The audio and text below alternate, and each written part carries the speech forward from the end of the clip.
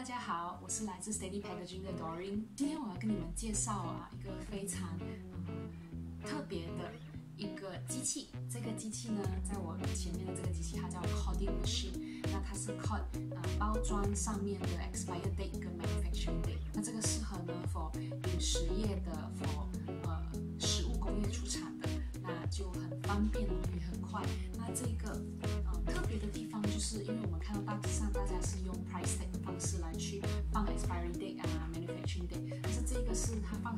之后，它是不会呃不能撕掉的，然后也不会洗不掉，也洗不掉的，就是平时你们看到在呃包装上面会有的，那就是这个 machine 就可以做出那个效果。那我们接下来呢就 demo 给大家看怎么样去呃 function，就是怎么样去运用这个 machine。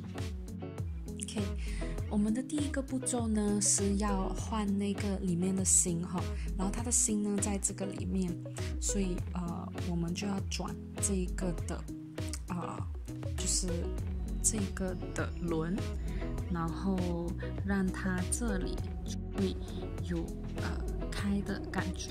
这里面的芯呢是我们可以改的，那这个里面呢的数字是有重复性的，是以防万一。我们有重复性的数字的时候，它有开 expired 和 manufacturing。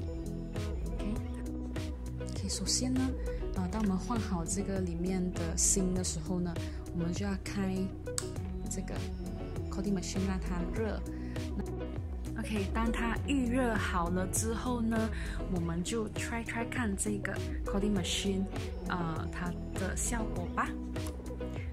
当我们把这个 packaging 放进去了之后呢，呃，我们就用它来拉下来推，然后这个印在上面。然后呢，去看，ta da！好了，大家，我们今天 coding machine 的 demo 就到此。希望这一个知识能够帮助到大家，那就是多啊、就更快速的方式，跟更好的方式做你们的啊。就是放你们的资料在你们的包装上面。那谢谢大家，拜。